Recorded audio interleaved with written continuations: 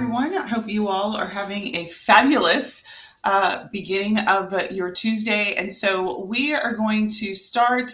Um, let me introduce myself, Sunday Gardner. If you don't know who I am, I am talking all things marketing for the final quarter of 2024. And so the last several days, we've sort of been continuing a series around social media. And so you know, we are right in the middle. We just started on day two of our video visibility challenge. And this topic is a perfect um, uh, uh, tie in to that challenge. And for those who may not know, we are doing a video visibility challenge. So if you are video shy, you may want to join us. And all you have to do is sign up at onlinetravelboss.com forward slash challenge and join us in our 21 day challenge where we are going to take that shyness by the horn, so to speak, and uh, shake it off and show up and show out in our travel businesses. And so, with day two, as I looked at everyone's videos last night um, and this morning, this is a really um, good topic and it's really around the idea of caption. So before we get started into the tips let's let me ask you a couple of questions. Have you ever seen something that you wanted to share but you didn't really know how to share it? You just push the share and then you you you you you just let it go. Or you got a image that you want to post about your trip but you struggle with what to say to bring it home to the people that you want. Slide in captions.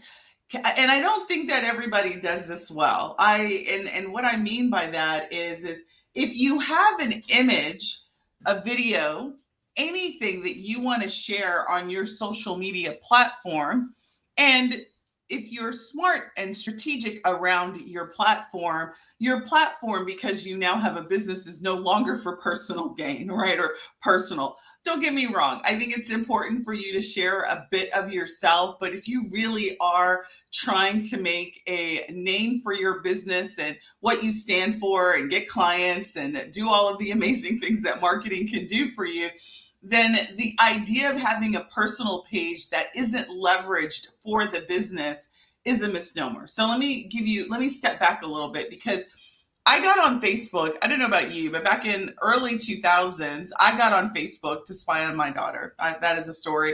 I'm not so proud that she's almost 30 now that I share, but that's the reason I got on Facebook. We had a business, but I was like, yeah, I don't really mix the two. I don't mix my personal and my business life together. And so when I got on the platform, I was spying on Alex, and then I realized that, hey, it's a great platform for me to reconnect with my friends. And then came in the introduction of digital marketing, and I, I, I really like this big giant light bulb went off in my head in 2000 and it was more like right when I started to advertise and I think that's probably where the light bulb will go off for you all as well is when I started to advertise my business the coach that I had at the time she was like I was like yeah I don't want to like she started running ads for me and she was like and I was like people are liking me and I don't even know who they are. And she looked at me and laughed and she said well that's the thing you're on social media now like you're out there and you're public. So this whole idea of having the hang up about well i don't mix my personal and my business. If you're advertising on facebook instagram any of the platforms which you probably are those lines become very blurred. And so what i had to make a decision of and maybe this is a decision that you need to make too are you all in on your business or are you really using the platform to uh, hang out with your friends. If it's the latter, this conversation is not for you. If it's the former, and you really are on social media, even though you dread it, so that it is a platform for your business, for you to relate to your ideal client, for them to get to know you, and for you to have a platform to connect with your tribe, then captions are the thing that you need to pay attention to. Because it's your responsibility no matter what you deliver images videos i don't care. A statement out there in the public is to connect the dots for your ideal client as to why they should give a crap about what it is that you are talking about right? So you've got to create that bridge so to speak you've got this amazing picture of you in the Bali swing, right? And I use the Bali swing because I, I need to release these pictures, right? And I, I was looking at the pictures the other day and I was like, I don't have anything really to say yet about Bali. I mean, I really liked it, but I just don't have anything to connect for. That's the same conversation that you need to be having internally when you get ready to release content. How can you bridge the gap between this image, this video, and what your ideal client cares about. That is how you get engagement. Captions is the magic sauce to do that. So, we're going to talk about how do you do that? Because maybe you get a picture or you get some sort of inspiration and you're like, well, what do I say? What am I supposed to say? There's a three part recipe that you need to keep in mind when it comes to creating that bridge between your piece of content and your ideal client so that it will connect and they start to care. All right, so are you guys excited about that? So many pictures and videos from years worth of trips. And so, Chastity, I completely welcome Chastity. Super excited that you're here live. Um, and there's some names that I can't uh, tell, but Mature Diva, super excited that you're here as well. Alicia, thanks for joining. Hopefully, I said your name right. Alicia, thanks for joining. And then let me also pay attention to my Facebook crew um, over out here in the Facebook streets. So hold on, let me go over there and welcome all of you. Say hi, Melvin. Nice to have you um, out there too. And you're watching from Costa Rica. So awesome. So captions what are they they just really are the words so many years ago i was working for the county of tarrant county and uh, i my background's in it so i was on a project and the uh, guy who was working with is like, yeah, we were talking about something, and he says, yeah, a picture's worth a thousand words, and I was like, yeah, I've heard of that. And he goes, yeah, but the saying really is a picture is worth a thousand words when the thousand words are accompanying the picture. So when it comes to what you have to say about a thing, make sure that there is the context in the words that really pull pull it together, right? Even if those words are audio written words, whatever that is, make sure that you create that bridge. So let's talk about the tips that are really going to do that. You know, but before I jump into the tips, like, do you guys like, can you guys relate? Are you, do you guys feel that same way that when you get ready to post something, when you got this really great picture that expresses like whatever is in your heart and you get ready to post it, you don't know what to say about it? Like, how many of you guys feel like that? If that's you, type a zero. If you're like, nope, I know what to say every single time I get ready to do a post, put a one in the comments. Let me know. Do you guys like, do you relate to that? And literally, I think Chastity just said that she's got hundreds, many or many, many pictures. I've got hundreds, hundreds of pictures. I am, I, I would say since I've started um, marketing many years ago, I just like now hoard pictures. Like I got all this inventory of pictures. Um, so 0.5, you feel like, so there are a lot of zeros. All right. So really connecting that dot is really going to help and this recipe that I'm going to give you is really going to help. All right, so you guys are feeling the kind of pain that I'm talking about. Let's go into this three step process. Now, what I want to let you guys know is you know i speak facebook because I, I i speak facebook i just i do i mean my language is probably not as sharp as it used to be, but I definitely speak Facebook. I don't necessarily uh, speak TikTok yet. I'm trying to speak TikTok and the other platforms. But what I will tell you is using all platforms as an example, people are inundated with information. They're inundated with messages, imagery, video, people throw it. It's like literally a walking commercial on every platform that you're on, right? And so your job as a marketer, even if you may not believe yourself to be a marketer, you are is to interrupt is it's called a pattern interrupt you want to interrupt whatever is going on in that person's life associated with the platform that you're in if you're on youtube you want to interrupt. If you're on Facebook, you want to interrupt their train of thought, their current consciousness for them to actually stop and see what you have to say. So this conversation isn't focused on how do you get into their sort of inbox, right? Into their feed. It's once you're in the feed and you've been able to convince Facebook, Instagram, TikTok to show your content How do you get them to pay attention? Step one in the caption is headline. You've got to have a compelling headline. And so for captions, that's the first sentence in your paragraph, so to speak, or whatever it is that you're saying. Whatever those first few words, you literally have a few seconds for them to be interested. And and don't get me wrong, people are like, well, people don't read. Yeah, people do. They just do it really quickly. and so you want to make sure that your headline pops, right?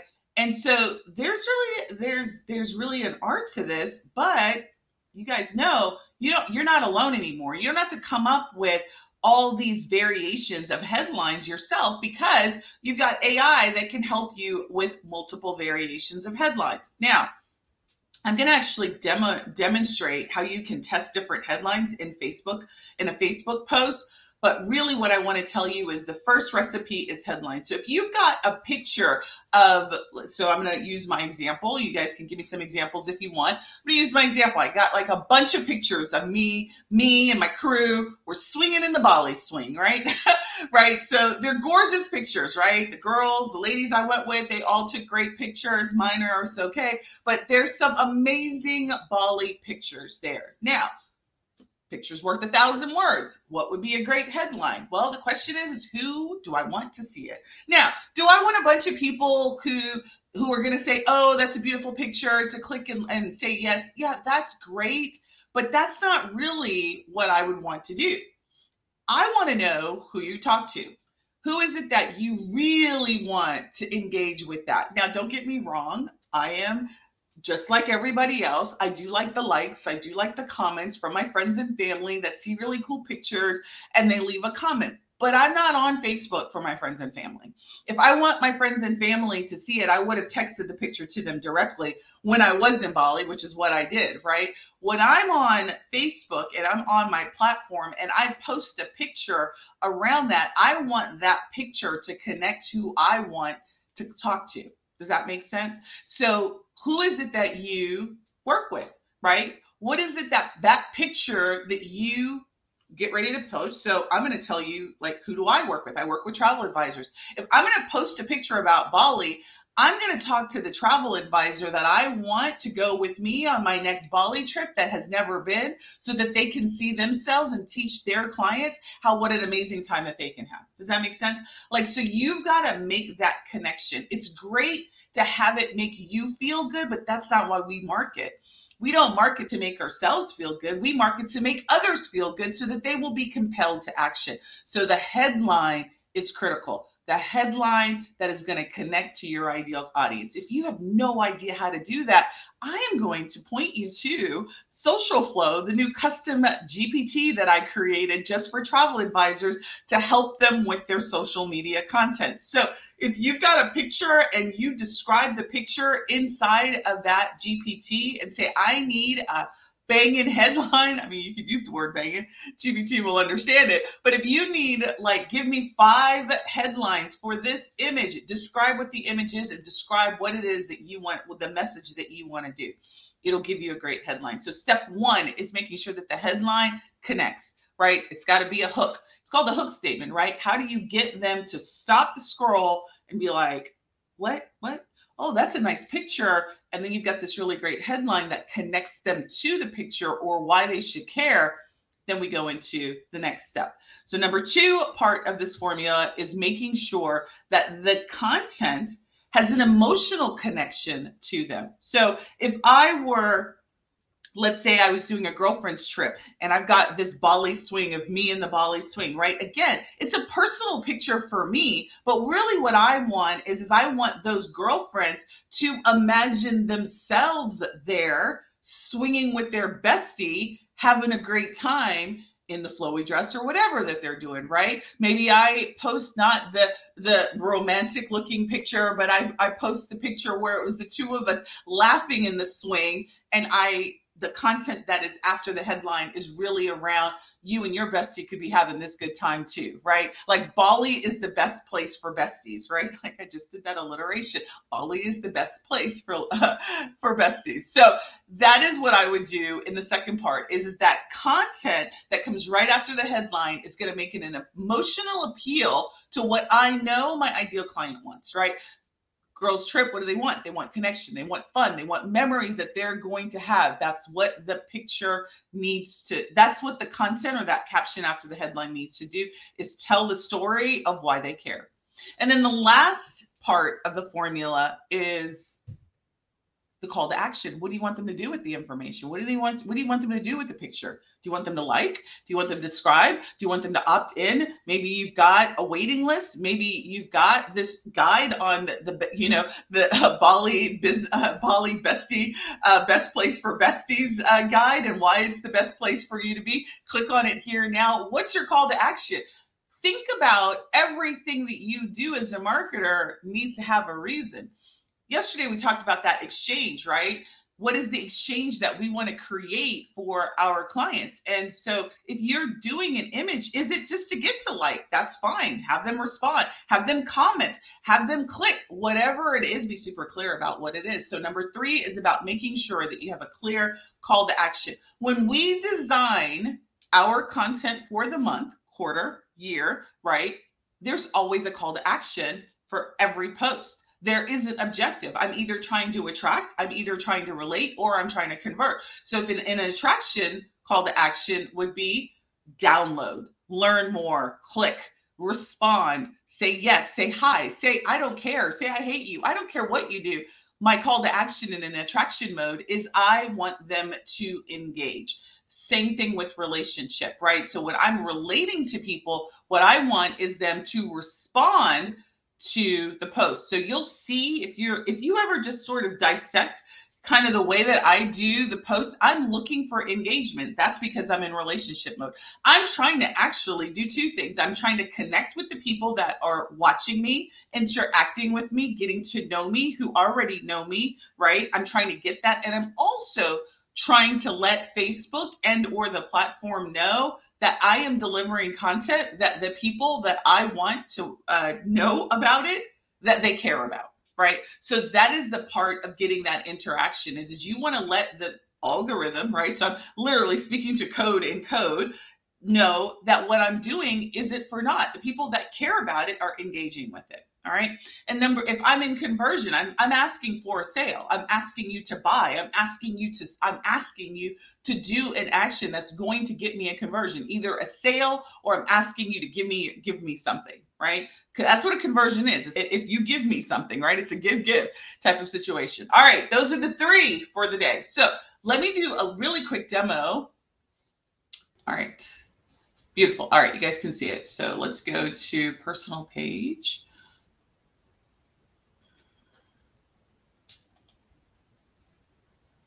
It's funny. I'm like, I speak Facebook, but I swear, like the clicking around and trying to figure out where things are these days. I don't know if my brain's just going slow or.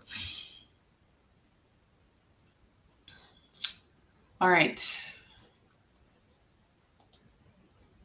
All right, there we go. Okay, so one of the things that we can do inside of Facebook is, is that we can actually do a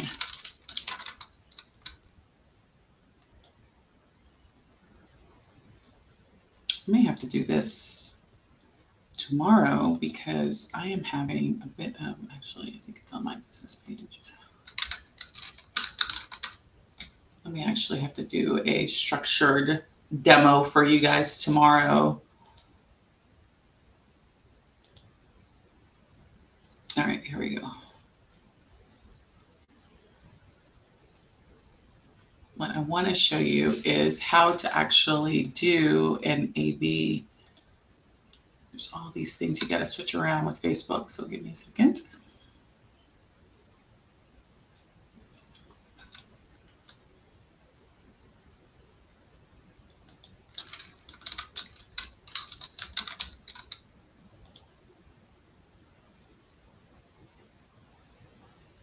Yeah, I'm going to do this tomorrow. So sorry about that. I want to do a structured. I'm going to actually have some post content um, together, and then I'm going to show you how you can actually take um, a post, have multiple headlines, and test them out so that you can see which one does well. So let me do that. I'll get that set up for you guys and I'll have that ready for you tomorrow.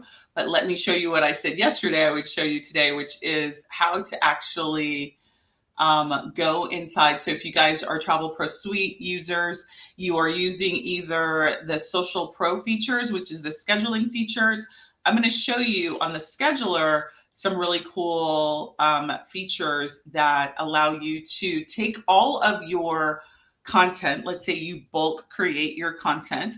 There's a way to upload all of that content in aggregate so that you don't have to do one by one uh, post. That's one way. And then there is some new features that we just released that I want to show you as well. So I actually want to be in my account so that I can show you.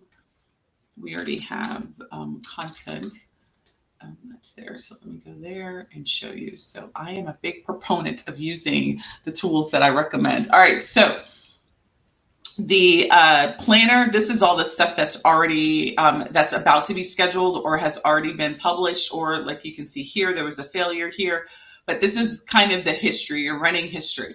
What I want to do is show you this new feature that we just released a couple of weeks ago, which is the whole idea of recurring.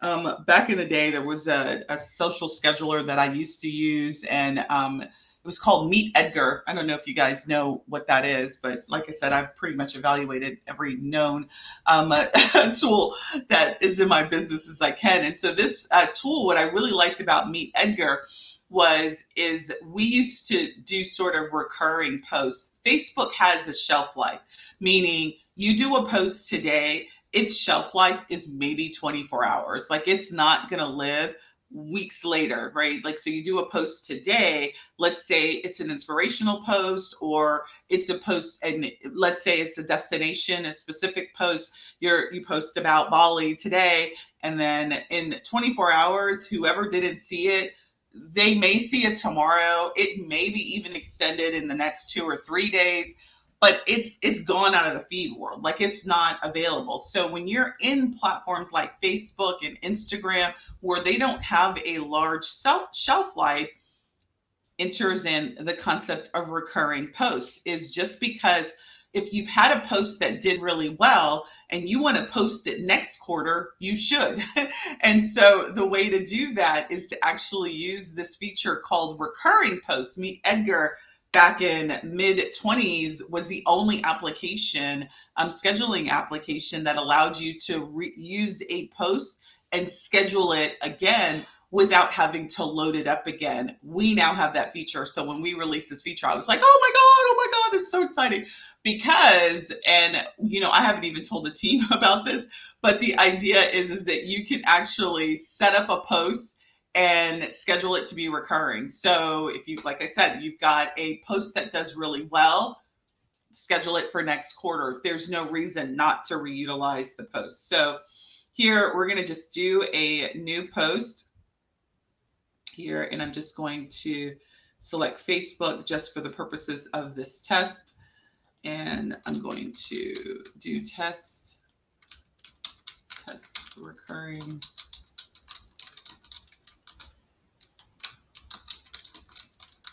feature. And then let's say it's a feed, that's what I'm going to do. And then I'm going to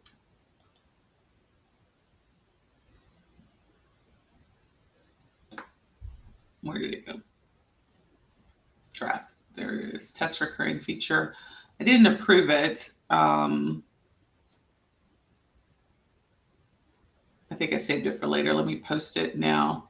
Okay, so you see here where it says schedule recurring post. That's where you're going to actually be able to schedule this repeat, let's say every month, right? And then you can tell it the time and the date range for which that you want it to do. So that is pretty cool. Like I'm just like super excited about this feature. I actually have to tell our social media team that this feature exists so that they can schedule the ones that really do well. So if you've got video, let's say you're doing you're promoting a destination and you're going to do a promotion cycle, let's say in October and you're going to repeat it again in November, let's say, right? Or October, maybe you repeat it again in December, whatever that is, you don't have to go and reschedule them again. You can just set the post to be recurring. I really like those posts or that content where there's a lot of engagement, recognizing unless you're advertising, you've boosted it on Facebook or your platform, or uh, specifically on Facebook is what I'm talking about.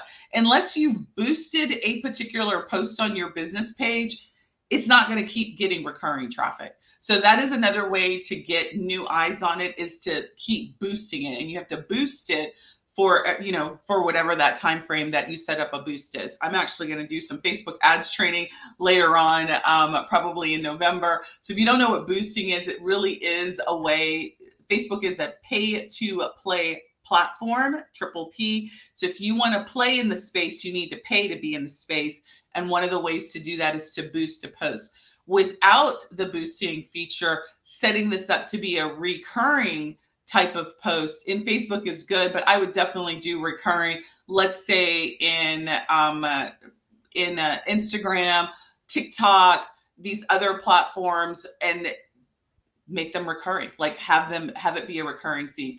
Let's say you are doing a post that asks for engagement, and there's a particular type. Like I have a couple of clients who do like journal entries or inspiration. Reuse those inspiration. Just because you did one inspiration quote this month or tip of the month doesn't mean that you can't reuse them next quarter. So definitely if you've got the same kind of consistent tips, recycle them. There's nothing wrong with recycling content. So this recurring feature will allow you to do that. Then the other thing that I'm going to show really quick before I skedaddle out of here for the day is this when you're in the content section, there's this idea of CSV, which is a tep, um, allows you to bulk upload your content. And so when you bulk upload, you can create a new post and then um, you can upload CSV. And what that's going to do is if you don't, if you've never done that, you can take a look at the download the sample file. Um, I think this is going to open in Excel and I just don't have Excel. Um, hold on, let me um, open it up in Google Drive.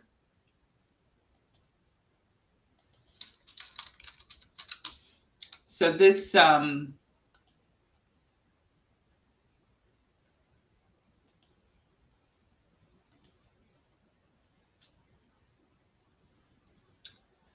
this is going to, um, here's a sample of it. So when you open it up, this is the layout of the, oh goodness, who can see that? Google Sheets. I kick uh, Microsoft to the curb and it like it's kicking me to the curb. So this is actually, uh, we're going to do a, a very specific training on how to interpret this, but really quick, what this is, is if you actually set up your content, in this format and literally what these columns are. This is just the date and time you want the post to go scheduled. This is the actual content, so you can copy and paste directly the content that you want. And then these are the URLs for where the images are going to be. So link URL, let's say you've got a link to a download or some uh, a blog post or something like that. That's what column C is. D is images, E is URL. So if you have a URL for a GIF image or a video, if you're using this, you shouldn't have an item in all three. It should be one or the other in column D, E, and F.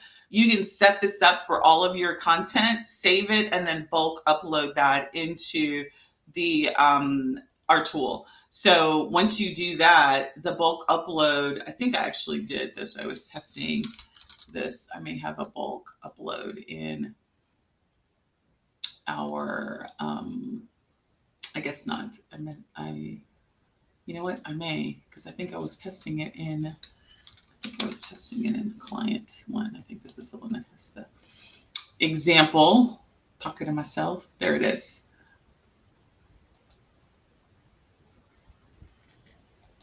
I guess I don't have one. That would be a great uh, training is to actually show you guys um, an example. I must have deleted it. So um, literally once you set up the Excel or the, the Google Sheets document with the format, you upload it in and then it puts it in a queue for you. And then you've got all of your, I just feel like, don't you hate when you do something and you're like, no, I know I've got it. Where is it? Um, I'm trying to remember because I was doing this last week and I don't remember which account, which one of my many alias accounts I was testing this in last week. So um, maybe it was in general marketing. Maybe that's it. I'm probably going to have to let it go because I can't find it. But I will set it up for you guys and um, show you. So it can't be in here because I would have. I am working on a really, so for you enter the URL for the image, that is correct. You will use the image for the um, I can't find it. So I will um, let's see if I let's see if I still have the file. I definitely don't want to do that in my account. So let's do this in the demo account. I think I still have the file that may be out there because I was playing with this because I've got something cool I'm working on for you guys. So let's see if it's out there in my world. CSV.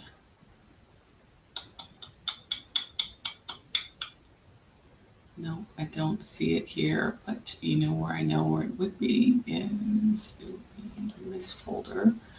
And then if I can't find it, ladies and gents, I'm gonna I'm going to I will create the folder because I actually have a test ready to go for this really cool gift I'm giving our AI for travel advisors uh, group. I'm giving you guys holidays. Yeah, I can't find it. So I will create the file and then I will show you guys the when I do that training. I'll probably have that training ready for you guys on Friday.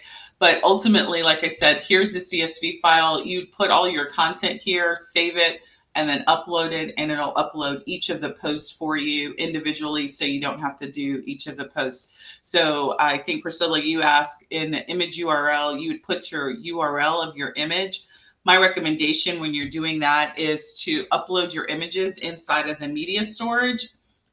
So when you are here, let's say you design all your Canva images, upload the image in the media storage, and then you can go here and get the link. And that's the link that I would put there. It'll pull that um, document or that image. It could be an image or a video file or a GIF file put that in the spreadsheet, upload the spreadsheet, and then all of those posts will be ready to do. This is a really good way for you guys to batch up content and have it done. So, you know, we create content in bulk, we upload it in bulk, and then it's available and then it's scheduled. So, that is what you should do as well. And you now have the tools to do it. So if you are interested or if you have not played with that feature in TravelPro Suite, please test it out. Give us some feedback. Give me some feedback. Let me know. But we are actually, as soon as our Facebook group, AI for Travel Advisors, hits a thousand um, users, I am giving this amazing gift. So if you know anybody, any travel advisors who would love it to learn all about AI, join us inside of that group. What I am going to give you guys is 2025 content in a CSV file so that you can load it up onto your um, into your account and have it available to you. We'll also be including holiday images for you as well. And so that will be my gift to you all um, as soon as our uh, Facebook group hits a thousand users. So with that, we are going to end today's session because I am already over and let me stop sharing. If you're not a TravelPro Suite member, simply go to onlinetravelboss.com forward slash TPS. And if you are already a member and you'd like to join our affiliate program, you'll be able to resell TravelPro Suite and make 30% monthly recurring income. I look forward to working with you. Thank you so much for joining me today, and I'll see you tomorrow, same time, same place. The time is now for you to simplify how you operate your travel business. Bye for now. If you have any questions and you'd like to join us for open office hours, we're starting right now go to sundaygardener.com.